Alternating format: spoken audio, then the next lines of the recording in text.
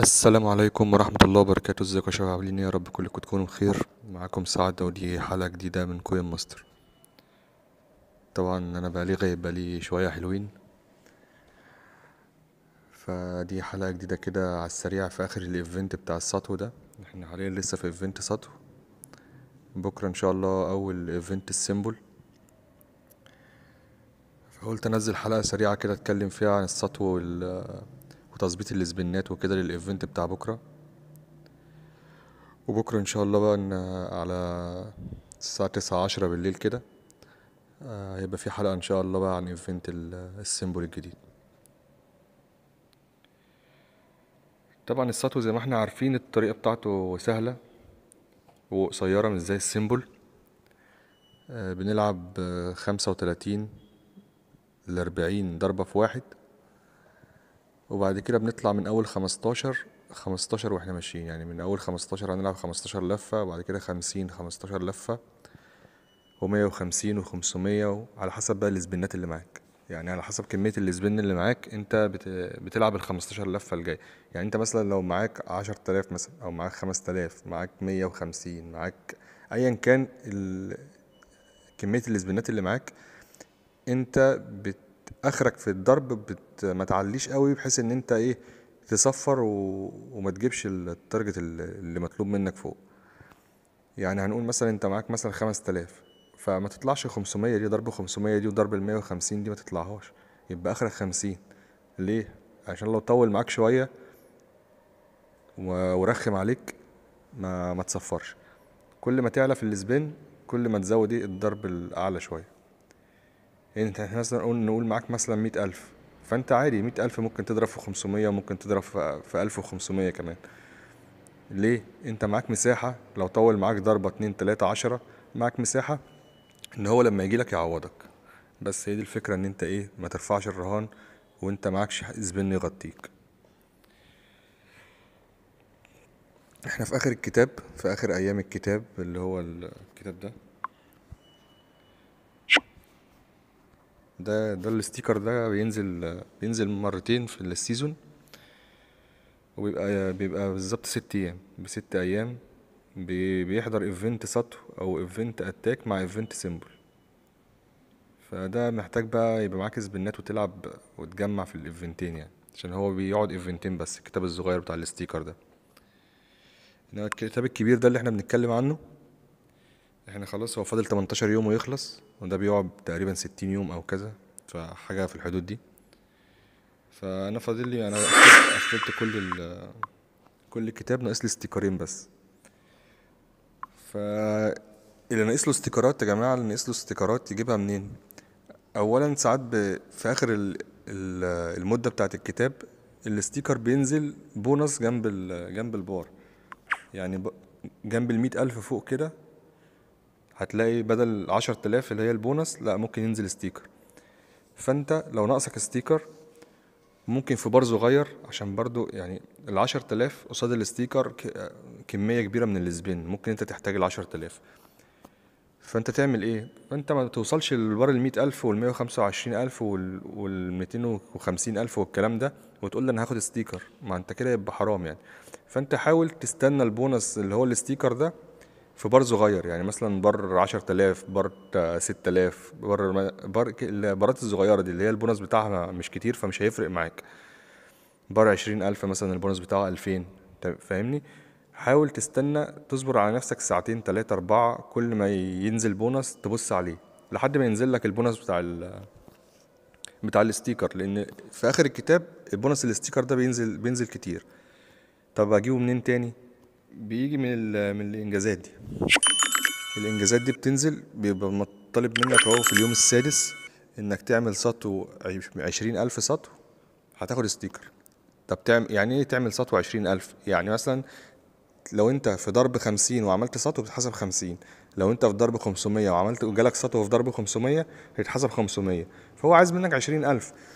أنت فاهمني؟ على ايفنتين يعني ال event ده وال event ال symbol فالموضوع مش مش صعب يعني. وبالذات إن event سطو كده كده أنت بتمسك السطو في 500 وفي 1500 فسهل إنك تجيب ال 20000 أنا في ال event ده جبت 15000 من 20000 وهكملهم في ال في ال event اللي هيبدأ بكرة إن شاء الله. أنت بتحاول تقفل هنا ال- المهمات اللي بتجيلك أقل حاجة خالص. يعني هو صعب تجيب ال ال 15000 الأخرانية دي إلا لو قفلت كل حاجة في. عملت كل المهمات يعني. تجيب ال 15000 إنما ال- الطبيعي إن أنت بتجيب الاربعه توكن. الاربعه توكن دول سهلين. مش لازم تقفل الحاجات الصعبة يعني. الحاجات السهلة بس بتقفلها فبتاخد الاربعه توكن لحد الاربعه توكن. تاخد أول أربع جوائز و... وآخر جايزة دي مش مشكلة بقى. طبعا دي شجرة جديدة لسه نازلة. لسه نازلة ال event ال- السطو اللي إحنا فيه ده. مدتها 29 يوم. طبعا الشجرة دي مفيدة جدا. ما بتنفعك إن أنت ممكن يعني زي أنا ما موجود معايا كده أنا موقف عند صندوق هيديني مثلا 2000 ونص spin.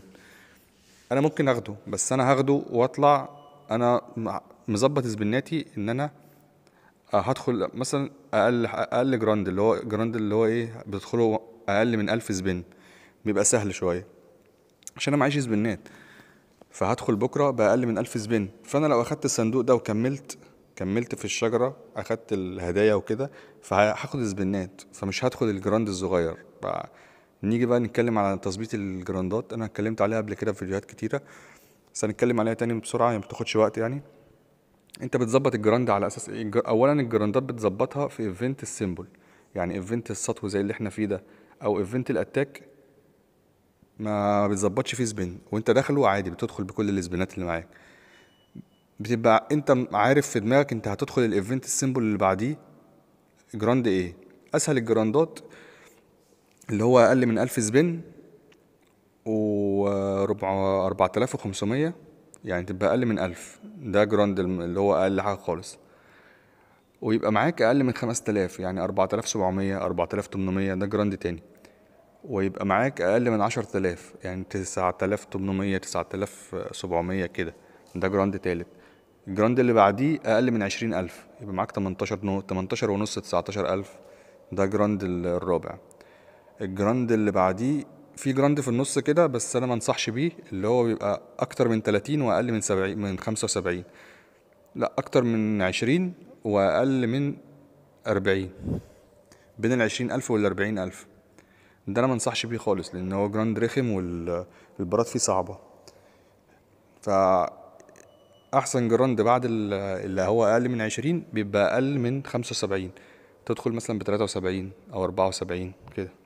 اللي بعديه بيبقى 148 واللي بعديه 495 واللي بعديه بقى اللي هي 995 فكل ج... على حسب سبناتك أنت بتبقى حاطط في دماغك أنا هدخل ال grand اللي هو أقل حاجة مثلا بيبقى أسهل حاجة.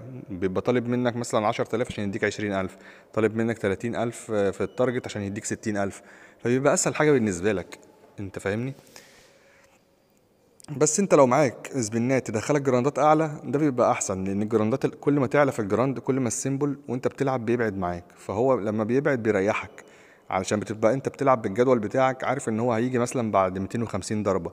فانت بتلعب ال 250 ضربة وتمسكه في ضرب مثلا 4000 وتمسكه في ضرب 6000 وتمسكه في ضرب 8000 وتمسكه في ضرب 1000 ونص على حسب عدد السبنات اللي معاك. انما عيب ال grand الصغير ليه مزايا وليه عيوب. يعني هو مزايا إن البارات فيه سهلة. يعني اللي عايز يجمع token ويحوشها وكده يدخل ال grand ده. أسهل من السهولة تجمع لك في كل event من 30 ل 50 توكن. ده لو انت إيه لو انت بتلعب يعني. انما العيوب بتاعته ان السيمبل فيه مش مظبوط فبيجي لك ساعات أقل من 100 وساعات أقل من 120 وساعات بيطلع 150 وساعات بيطلع 220 فانت ملوش ملكة ما انت معكش طريقة تلعب بيها وتبقى ضامنها ان مثلا هيجي لك بعد 250 أو هيجي لك بعد 230 تبقى انت بتلعب ال 230 دول وانت عارف ان مفيش مفيش symbol بيجي فيهم. فده عيب ال grand الصغير اللي هو اصغر حاجة. إن أنت بتبقى بتلعب على القريب ممكن يغفلك ويبعد بقى هو فدي المشكلة هنا إن أنت هو يفضل يجي لك قريب 120 ما بين 120 و 150 ضربة. يفضل يجي لك كتير كده كتير كده. فأنت تتعود إن هو بيجي لك كده. فتعلي الرهان ما بين 120 و 150 وأول ما تعلي الرهان يروح هو في ال 220 فأنت على بال ما تضرب بقى من 150 ل 220 في رهان عالي تكون أنت صفرت. فهي دي المشكلة في ال grand الصغير.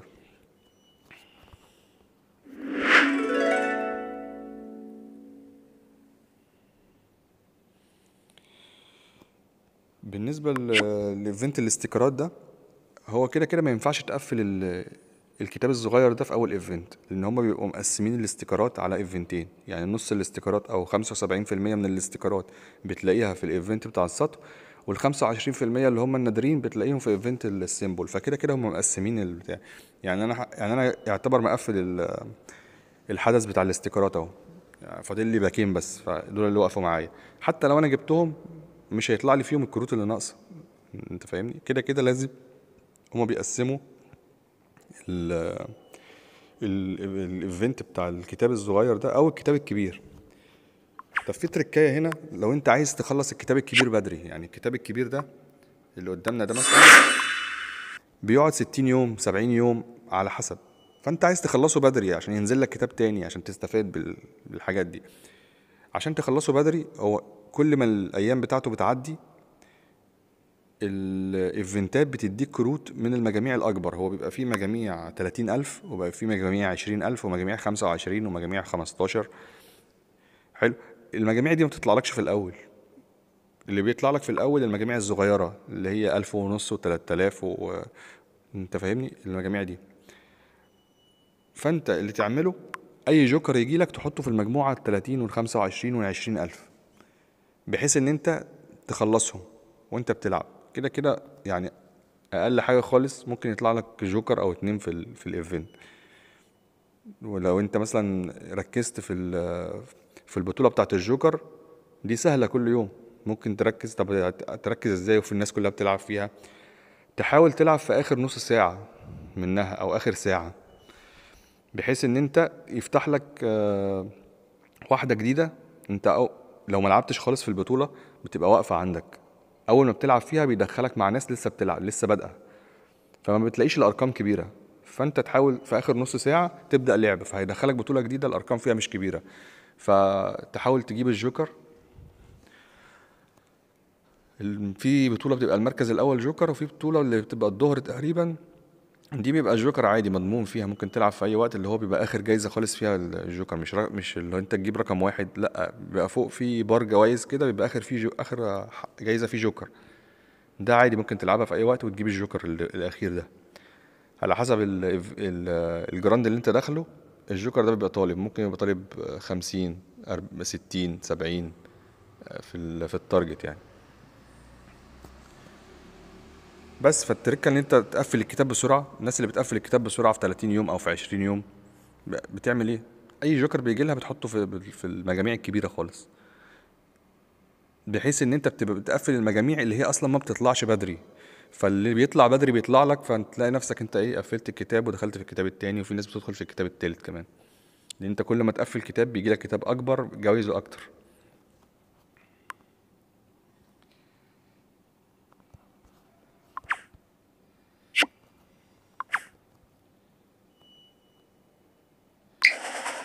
نزلوا كمان يعني غيروا شكل ال- الحيوانات دي ال fox وال tiger والحاجات دي ونزلوا لهم حاجة جديدة كده زي لبس.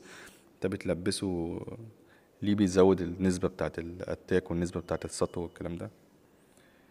ده لو انت بتجمع كاش بيفيدك يعني ان انت تجمع كاش بسرعة. بس يعني في القلعه الشتوية دي بتبقى كبيرة شوية. بس الجوايز بتاعتها بتبقى كويسة يعني. لو انت في team عالي هتلاقي نفسك بتاخد منها جوائز كتيرة وجوائز كويسة. بتنفعك بال... وانت بتلعب تخليك مثلا لو وقفت تكمل وكده. أهم حاجة وانت في team تبقى منسق معاهم عشان ما ترميش عشوائي وتضيع مجهود زمايلك. يعني إحنا دلوقتي في ال team اللي أنا موجود فيه مركزين إن إحنا هنخلص مثلا 18000 spin ده. فكل ال team أي حاجة بي... أي حد بيجيب أي قطع من التلج بيرميها في ال 18000 لو إحنا ماشيين عشوائي كل واحد هيشوف هو نفسه في إيه ويرمي فيه. فدي حاجة ما تبقاش كويسة بتضيع مجهود ال team يعني.